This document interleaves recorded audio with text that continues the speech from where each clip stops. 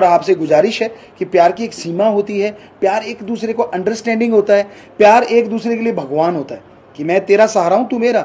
एक दूसरे का सम्मान करना होता है प्यार एक दूसरे का साथ देना होता है प्यार एक दूसरे के साथ इंजॉय करना होता है प्यार समाज को बदनाम करना नहीं होता प्यार प्यार को बदनाम करना नहीं होता।